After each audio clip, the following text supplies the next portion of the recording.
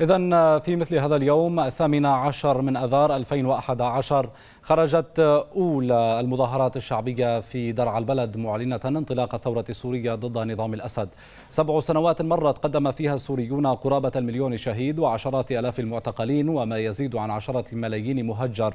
ووسط هذه التضحيات المكلفة بدت ما تسمى المعارضة السياسية مفصومة كليا عن واقع السوريين وتضحياتهم وبدأت باكرا بتقديم تنازلات والأخرى على حساب دماء السوريين والدخول في مسلسل مؤامرات أو مؤتمرات تحديدا لا متناهية وصولا للقبول بممثلين عن نظام الأسد ضمن هيئة المفاوضات حتى بات النظام الذي قتل السوريين ذاته محاورا للنظام. ما بين أولى نداءات الحرية والكرامة ظاهرة الثامن عشر من آذار 2011 ودماء ما زال السوريون يقدمونها إلى اليوم ثمنا باهظا في ثورتهم ضد نظام الأسد. وبين ما وصل إليه من قيل أنهم ممثلو الثورة سياسيا أو كما يراهم الكثير من أبناء الثورة باعتبارهم الجهة التي اخترقت الثورة السورية ومن أوصلها هذه الحال. وبعد سبع سنوات وقرابة المليون شهيد وعشرات آلاف المعتقلين وملايين المهجرين تمخضت ما تسمى بالمعارضة السياسية فولدت فأرا. موافقة السيد رئيس مجلس وزراء قدري جميل وزير تجارة النظام وعضو مجلس شعبه يفرض على السوريين وثورتهم كأحد الرموز المعارضة. بل ويظهر رئيس منصة موسكو التي صهرت مؤخرا في الهيئة العليا للمفاوضات مع مجرم الحرب علي كيالي مسؤول مجزرة البيضاء في بنياس رح نقبرهم بأرض لم يكن لهم قبور إنجازات تحسب صراحة لما تسمى بالمعارضة السياسية لكن كيف تدرجت تلك الواجهة من فشل إلى آخر؟ وكيف حولت القتلى من بشار وإيران وبوتين لضامنين تارة وشركاء حوار لإيجاد حل سياسي مع القتلى تارة أخرى؟ وإلى أي حد شكلت تلك الواجهة عبئا على السوريين وتضحياتهم ومقتلا للثوار والجيش الحر وشرعيته؟ يقول منصور أتاسي وهو معارض سياسي في شهادة الله. إن ضابطا لنظام الأسد عرض عليه أواخر 2011 الانضمام لمجموعة قدر جميل والخروج من السجن معززا مكرما.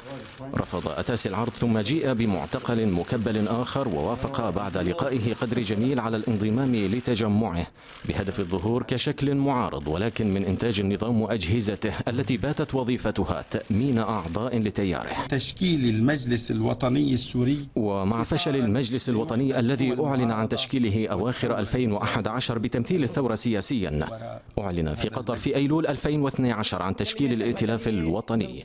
ثم ما لبث رئيسه معاذ الخطيب أن فاجأ السوريين برسالة يدعو فيها للحوار مع نظام الأسد.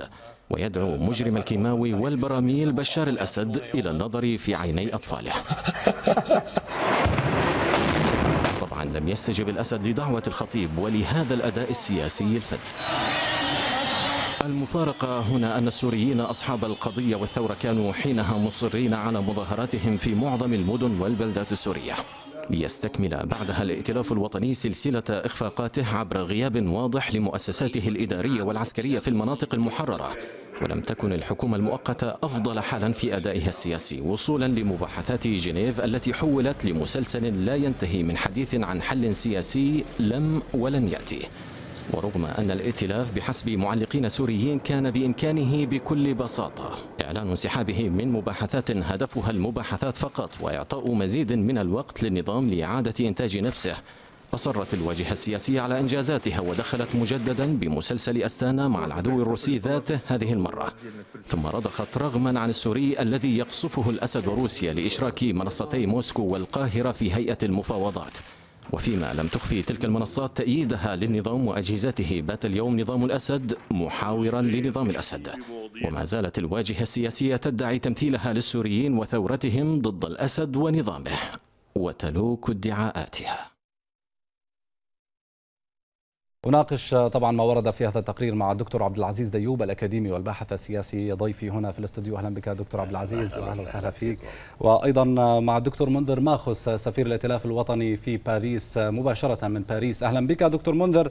وأيضا أرحب بالسيد جوناثان فراير الأكاديمي والباحث السياسي من لندن. أهلا بك سيد فراير. إذا أبدأ معك دكتور عبد العزيز ديوب. ما أسباب فشل المعارضة السياسية في طرح فكرة واحدة إيصال فكرة الثورة السورية بشكل صحيح إلى الطرف الذي من المفترض أن يستجيب لنداءات الشعب مطالب الشعب السوري بداية لا بد من التنويه إلى الحالة السورية نعم. في قدمها أي بمعنى آخر فيما بعد 67 نعم. حيث أن الحالة السائدة آنذاك وخاصة بعد انقلاب حافظ الأسد في 1970 أصبحت الحالة السورية حالة فريدة من نوعها. أي الحالة السياسية أقصد. أي أضحت السياسة ضرب من ضروب الخيال. ممنوع ممنوع العمل في السياسة ممنوع الحديث في السياسة. بإمكان أي مواطن أن يتح... أن أن أن يعمل ما يشاء أن يقوم بما يشاء. بداية من تهريب المخدرات إلى إلى الرشوة إلى إلى آخره. أما السياسة فهذا خط أحمر. نعم. وأجاد هذا أجاد هذه اللعبة حافظ الأسد. طبعا ليس من قبيله مباشرة إنما بتخطيط مراكز أبحاث متخصصة في هذا المجال آه، آه، ساهمت في تحقيق هذا الهدف اللي هو التصحر السياسي في سوريا وبمعنى آخر عندما تتحول سوريا إلى صحراء سياسي هذا يعني تلاشي أي شيء له آه، في مسمياته كمعارضة. أو أي معنى آخر. سميها ما شئت معارضة شو ما كانت لكن في كافة الأحوال لن تتواجد معارضة في سوريا منذ انقلاب حافظ الأسد عام 70 حتى يومنا هذا. طيب بالسبع سنوات ثورة ما كان من المفترض أنه يكون في شخصيات الوطنية القادرة على آه، لم شمل السياسيين السوريين وبالتالي تقديم صورة أفضل مما تم تقديمه الآن طبعا نحن ننظر إلى الانتقادات الكثيرة الموجهة للمعارضة السياسية. الأفراد أو الأشخاص اللي تصدروا آه، الموقف أو الحالة في سوريا بعد قيام الثورة في عام 2011 نعم. هؤلاء ليسوا سوى أفراد. حقيقة آه، لم لن يكونوا منتمين إلى أي تنظيم سياسي نعم. أو حزب معين. وبالتالي هؤلاء ليسوا سوى أفراد وهؤلاء الأفراد كان كل منهم آه، يعني يغني على ليلى. أي بمعنى آخر لن تتواجد حتى في بداية الثورة لن تتواجد معارضة حقيقية. لها آه، هيكلية لها أسس لها مبادئ لها لها لها وما عليها. نعم إنما كانت كما ذكرت مجموعة من الأفراد من الأشخاص تبوأوا أو تصدروا المشهد السوري نعم. عبر الإعلام المتنوع عبر الجزيرة عبر العربية عبر شتى أشكال الإعلام المحلي والغير المحلي نعم. وبالتالي هؤلاء لن يكن ما كان عندهم برنامج نعم. ما كان عندهم برنامج عمل ما كان عندهم برنامج سياسي ما كان عندهم آآ آآ ثقافة ثقافة يعني ثقافة الثورة ما كانت موجودة. يعني هن طيب. التحقوا التحقوا في الثورة. نعم. وبالتالي هن يعني ما بدي اتهمهم ونقول إنهم امتطوا الثورة لكن نعم. التحقوا التحقوا فيها. طيب خلينا نتابع الاستطلاع طبعا اللي عملته أو عملوه طبعا مراسلين في الداخل السوري وفي الخارج آه، أيضا حول الأخطاء التي ارتكبت في الثورة آه، إلى جانب الخطوات الصحيحة فيها. آه، طبعا من وجهة نظر من تم استطلاع آرائهم. لن نتابع.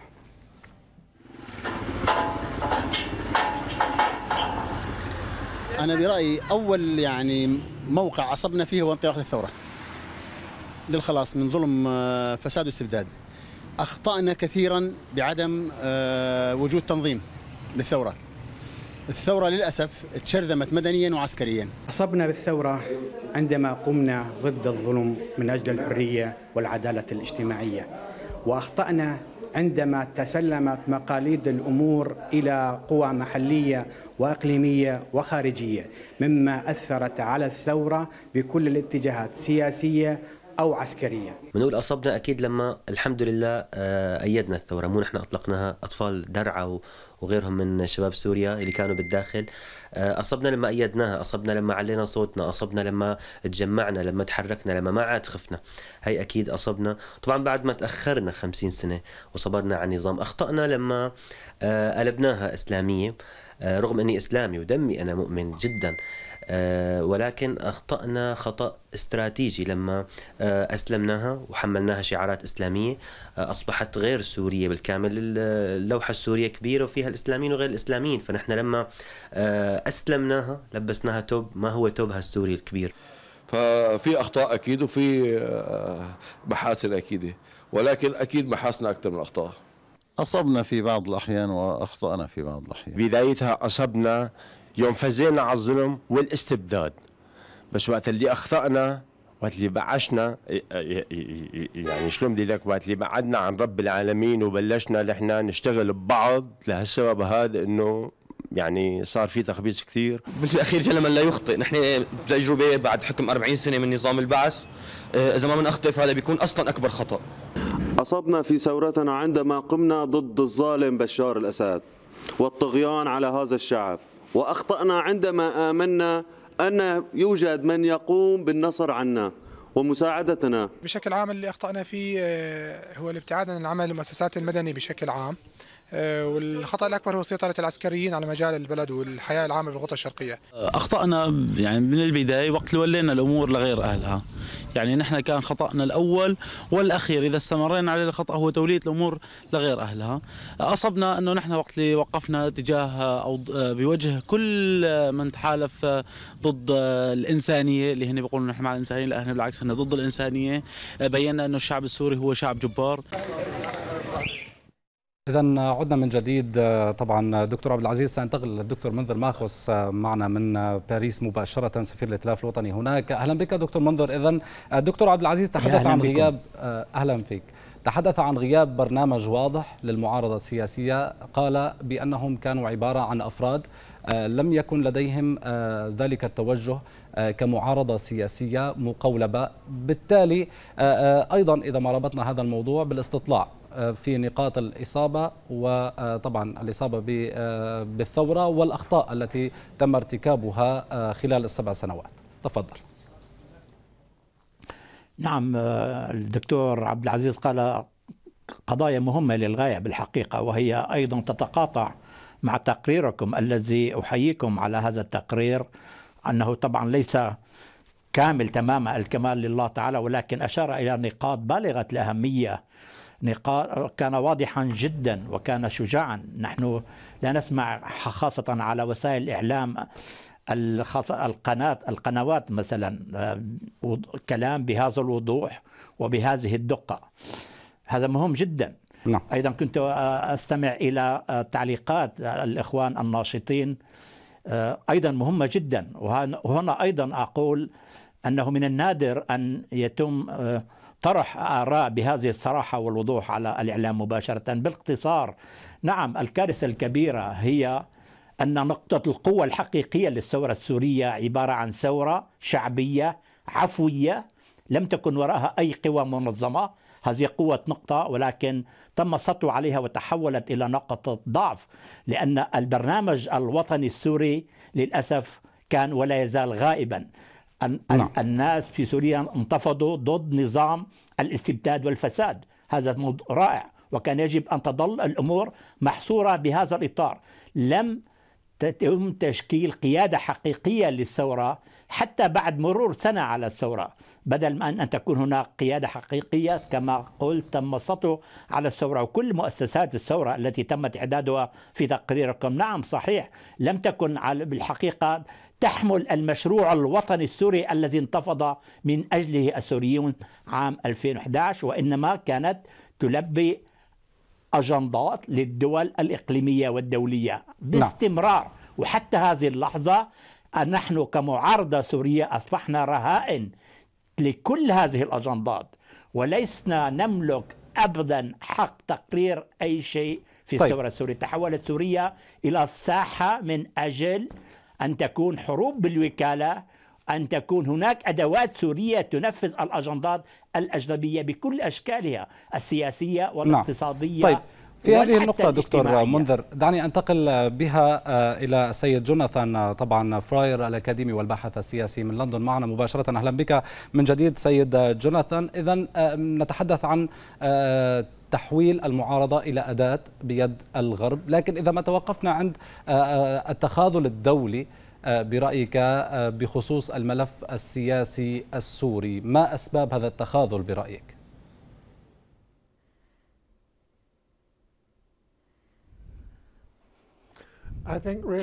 أعتقد أنه ومنذ بداية الثورة السورية كان هناك نوع تردد من قبل بعض الدول مثل فرنسا وألمانيا بسبب ما حدث مسبقا الحرب في العراق في عام 2003 عندما عندما كانت بريطانيا عندما ق- لم عندما قامت بريطانيا ب عندما قامت بريطانيا بالركض وراء أمريكا في حربها في العراق. ولا بد أن نتذكر مرة أخرى أنه في مارس 2011 كان هناك العديد من الدول أيضا التي كانت مترددة وأيضا ما حدث في مصر وأيضا خروج حسني مبارك من الحكم.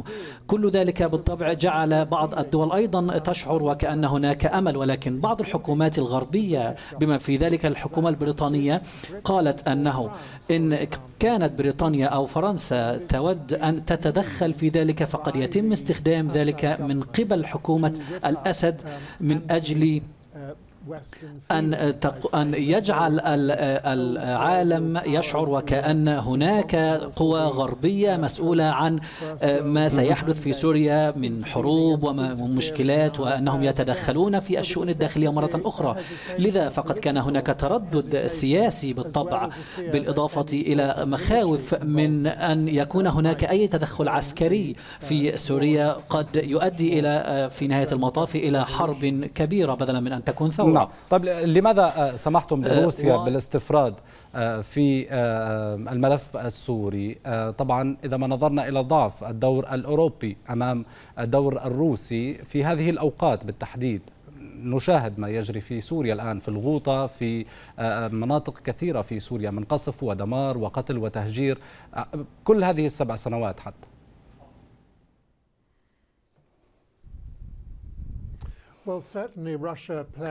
بالطبع روسيا قد لعبت دورا عسكريا قويا جدا وبالطبع أخذت الدور المحوري عندما لم يكن هناك أي دور معطى لأي دولة أوروبية أو حتى لأمريكا وأثناء رئاسة أمريكا كان هناك بعض المعارضة لما تقوم به روسيا ولكن الآن لا يوجد أي شيء ضد روسيا وذلك جعل روسيا حتى تنخرط جويا في الحرب وجعل آه، الأسد آه، وجعل الأسد ومن الواضح أنه لم يعد يخشى شيئا كما كان في السابق. ولكنه ولكن بالطبع أنه يحاول أن يقلل من الشأن الأوروبي من خلال التدخل الروسي. ففي الماضي على سبيل المثال في حلب كان يقوم ببعض التصرفات في أوقات معينة كان بها الأدوار ضعيفة ولم تكن هناك الأنظار موجهة ناحية سوريا. ولكن الآن هو في الغوطة وبالطبع الآن لابد أن يكون هناك دور الأمم المتحدة ولابد أن يكون هناك مقاومة لمثل ذلك الدور الدور الروسي.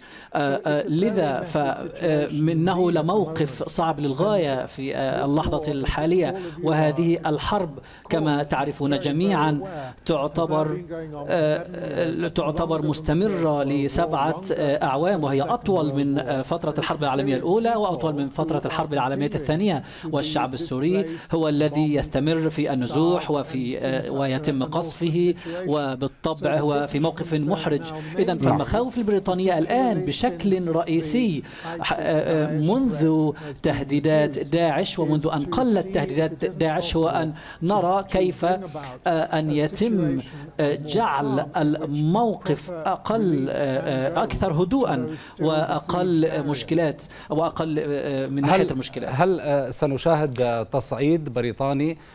طبعا سأختم معك قبل الذهاب إلى فاصل سيد جوناثان. هل سنشاهد تصعيد من قبل بريطانيا؟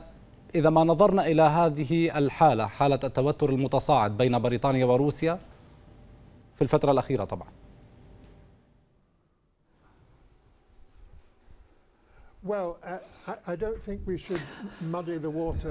لا أعتقد أنه لا يجب أن نقوم بإزادة الطين بل بالتحدث عن التوتر البريطاني الروسي لأن هذه قضية مختلفة تماما. وقد وهذا ما رأيناه في العشرة أيام الأخيرة بسبب محاولة قتل المسؤول الروسي وابنته. وبالطبع قد تصاعدت الأمور ما بين بريطانيا وروسيا وحتى ما بين روسيا والدول الاتحاد الأوروبي. لا أعتقد أنه يجب أن نقوم بخلط هذه الأمور ما بين الأمور وبين المجهودات الدبلوماسية التي تحدث لأن لدينا تركيا وإيران وروسيا لديهم جهودهم التي يقومون بعملها الآن حتى ويتحدثون حتى في أن أن يتم تقسيم سوريا إلى أيدي ما بين أيدي مختلفة. إذا هناك طموح جيد هنا في لندن وحتى في بعض العواصم الأوروبية الأخرى أن الموقف أصبح معقدا للغاية نعم. بسبب العديد من الأطراف المختلفة وليس فقط الحكومة السورية لأن الحكومة السورية حتى لا تريد أن يكون هناك مذهب واضح وكما قال نظام الأسد إن نعم. هناك حكومة وهناك إرهاب بالطبع إنه إن الأمر ليس بسيطا كما تصوره الحكومة السورية فهناك مجموعات مختلفة وحتى بعض الأطراف كانت موجودة في بريطانيا منذ فترة بعيدة وحتى أن هناك البريطانيين الذين يقومون ببعض المجهودات لمواجهة النظام السوري. لذا إننا لا نود أن يكون هناك عدم استقرار ولكن الأهم هو الاستقرار في الفترة القادمة. أشكرك على هذه المداخلة سيد جوناثان فراير الأكاديمي والباحث السياسي. حدثنا مباشرة من لندن. أنتقل إليك دكتور منذر ماخوس يعني منذ بداية الثورة المجلس الوطني الائتلاف الحكومة السورية المؤقتة هيئة التفاوض وفد الرياض اثنان وغيرها من المؤسسات منصة موسكو منصة منصة القاهرة. حتى اللحظة لا يوجد جسم سياسي يمثل بالفعل طموحات الشعب السوري. هل أنت متفائل بأن يوجد مثل هذا الجسم في المستقبل؟ و يعني بدقيقة أو دقيقتين كأقصى حد دكتور منذر أعذرني. لا للأسف لست متفائل بالحقيقة لأنه كما نعرف صحيح دخل جاء التدخل الروسي سنة 2015 وغير المعادلة ولكن بين سنة 2011 و2000 هناك أربع سنوات حققت المعارضة العسكرية على وجه الخصوص نجاحات باهرة وكانت تسيطر على معظم التراب السوري. هذا من ناحية لكن في الناحية الأخرى على الصعيد السياسي تماما لم تنجح المعارضة على الإطلاق بخلق جسم معارض سوري ذو أجندة واضحة تحمل مشروع وطني وطني سوري. أضع عدة خطوط تحتها وطني سوري وأصبحت مرتهنة للأجندات الأجنبية. أصبحت سوريا عبارة عن كعكة تقاسمها الدول الإقليمية والدولية وساحة أيضا لتنفيذ المشاريع الإمبراطورية. انظر ماذا فعلت وتفعل إيران حتى الآن وهي تستطيع أن تفعل ذلك طالما ليس هناك جسم واحد للثورة. جسم سياسي وجسم عسكري. لم ننظر إلى التاريخ الثورات الكثيرة التي حدثت في العالم. انظر إلى الثورة الفيتنامية إلى ثورة نعم. كوبا على أبواب أمريكا التي انتصرت على نظام طاغية كبير عندما بدأت ب 80 شخص من المسلحين. لماذا نحن عجزنا مع هذا الشعب الرائع الشعب الديناميكي الشعب السوري. لا أريد أن أكون فلنقل ذو أفق أو كلام قومي أو غير. لا أبدا. السوريين نعم. معروفون وكل العرب بشكل عام في الشرق الأوسط ذو تجربة واسعة كبيرة. لكن أصبحنا مرتهنين للأجندات الأجنبية. طالما نحن ننفذ أنجاط أجندات أجنبية وطالما نحن مرتهنين لها سياسيا وعسكريا لن يحدث ذلك. لماذا فشلنا بخلق جيش وطني حقيقي؟ نعم. نعم فشلنا لأن الدول التي تتقاسم سوريا ليس من مصلحتها وكانت بشكل مقصود تمنع تشكيل جيش وطني سوري بوجود حوالي 4200 ضابط من شق من ألوية حتى نقباء نعم. ورواد وعمداء وهناك مئات العمداء مئات مئات العقداء مئات المقدمين أشكرك لماذا دكتور فشلنا. أن كان يمكن استيعاب الفصائل السورية ضمن نعم. هذا الجيش ذو التنظيم والت- والتنسيق والت- والتمويل الموحد وبتراتبية جيش نظامي حقيقي. نعم. لم أشكرك يسمح دكتور منذر. للشعب السوري أن يكون جيشه. هنا تكمن نعم. مسألة المعارضة السياسية كانت ليست في أفضل حال. شكرا جزيلا لك على هذه المداخلة معنا دكتور منذر ماخوذ سفير الائتلاف الوطني في باريس. كنت معنا مباشرة من باريس. آه، دكتور عبد العزيز أرجو أن تتفضل بالبقاء معنا. سنذهب إلى فاصل ومن بعده نتواصل. مشاهدينا ومستمعينا ابقوا معنا.